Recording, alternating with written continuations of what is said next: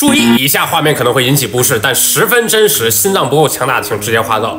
大家有没有幻想过丧尸爆发的场景啊？现在你们不用幻想了，一张机票满足你。最近就有外媒报道哈，僵尸观光之旅竟然成为了美国网红打卡的新项目。只见一个个博主们是有的是本地的，有的还特意从欧洲来到美国的费城肯辛顿去拍摄那些流浪汉在街头痛苦挣扎、宛如僵尸般的惨状。最近这类视频啊是在羊抖上迅速爆红，好多都有着。成百上千万的流量，我现在也确实越来越能理解为啥美国想要封杀羊抖了。这美国人一看一个不吱声呀！你们看这场景，行尸走肉来这儿取景也不至于乱尾成这样。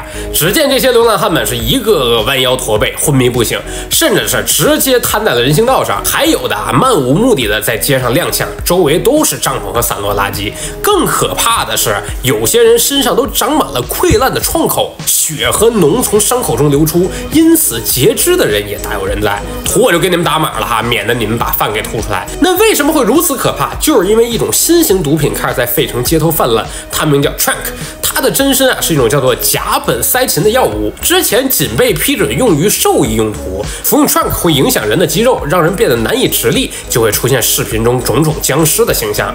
此外呢，它会腐蚀人肉，阻断呼吸，使人毁容、截肢甚至死亡。所以称它为僵尸毒是一点都不为过。有记者啊采访当地饱受困扰的流浪汉说哈，每天晚上睡在人行横道上，我都会哭泣，因为我知道自己不是那种落魄的人，但又忍不住第二天接着。继续靠近毒品。我遇过有人在我身边被枪杀，遇到过有人想要侵犯我。在炎热的夏日街道上，我看到人们啊注射 Trunk 的伤口上是爬满了各种跳蚤和蛆虫。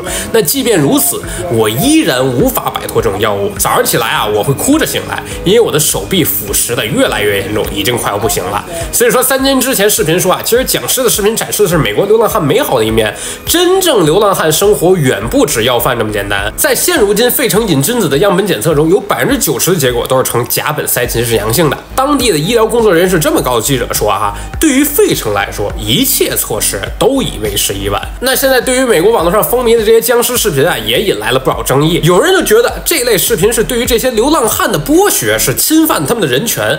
但也有人觉得，哎，这样的视频能在美国是越多越好。人们是需要注意到这些东西的危害性，是最真实且免费的禁毒宣传。那你们觉得谁说的更有道理呢？